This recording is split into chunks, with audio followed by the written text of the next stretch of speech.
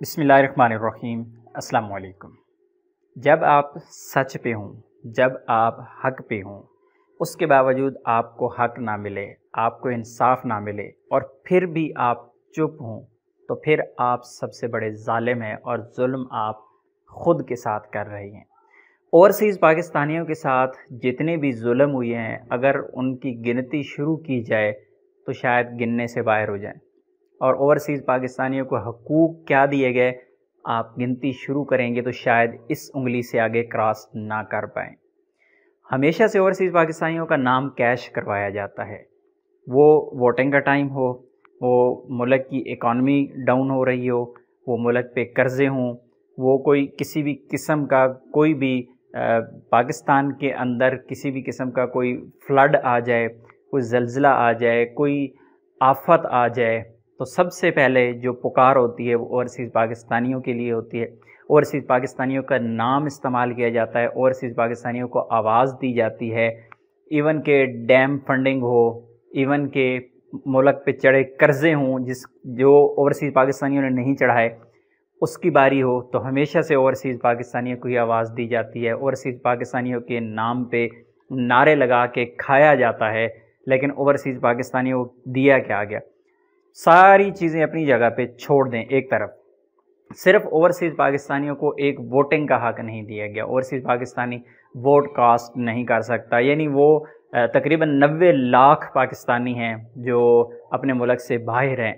और वो नबे लाख पाकिस्तानी, उनको ये कहा जाए कि जब इलेक्शन होगा तो आएँ तमाम के तमाम नबे लाख यहाँ पे आएँ और यहाँ पे वोट वोट कास्ट करके चले जाएँ। ये जहाज़ की टिकट आपको नहीं लेनी पड़ी, जैसे साइकिल पे आके यहाँ पे ठप्पा लगा के आपने वापस चले जाना है।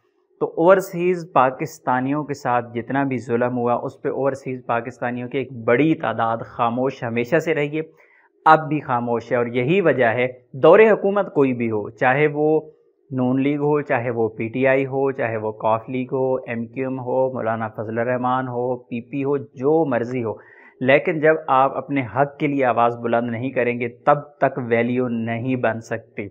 इस वक्त अल्लाह ने आपको एक चांस दिया है, और चांस ये है, क्योंकि हक जब ना मिले तो हक फिर छीनना पड़ता है। अब आपके पास अपना हक छीनने का टाइम है।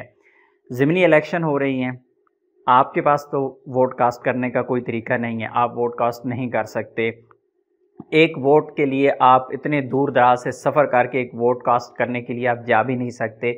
आपके पास बिल्कुल आसान और सिंपल हल है कि आप की वजह से कम अज़ कम कुछ चूल्हे जल रही हैं।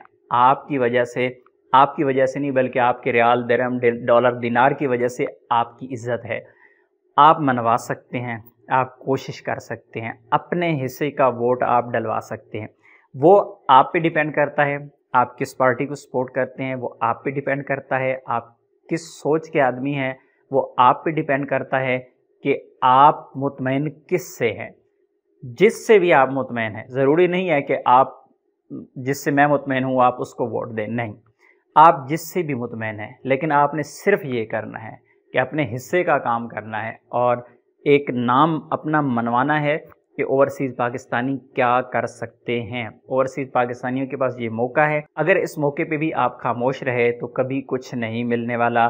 कोशिश करें, ज़मनी इलेक्शन में आप कम अज़ कम अपने दो तीन वोट पक्के करें और खड़ाक के साथ पक्के करें और बताएँ कि मैंने फ़लाँ पार्टी को वोट दिलवाए हैं और मेरे वोट थे।